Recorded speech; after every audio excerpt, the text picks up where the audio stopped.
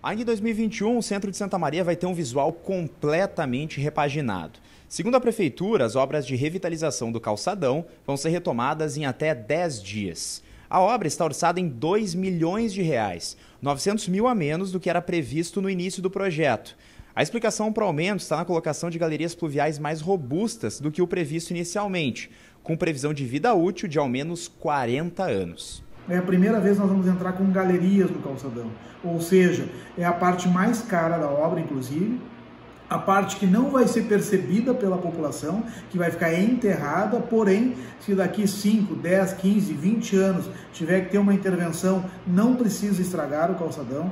A revitalização tem previsão de duração de até oito meses e vai ser realizada por duas empresas, a construtora Demarco, de Erechim, e a Urbanes Empreendimentos, de Santa Maria.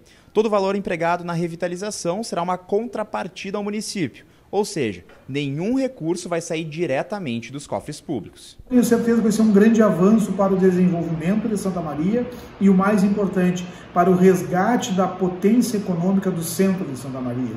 Isso é fundamental para nós por dois motivos. Porque a nossa matriz econômica é alicerçada no varejo e no serviço, o centro é fundamental para isso, e nós, desde o primeiro mandato, temos uma grande preocupação o centro de Santa Maria não pode se transformar no que a gente vê em outras cidades, os chamados centros velhos, com muita prostituição, consumo de droga, assaltos. Para que isso não ocorra, nós temos que trazer novamente, potencializar a energia das atividades empreendedoras de Santa Maria.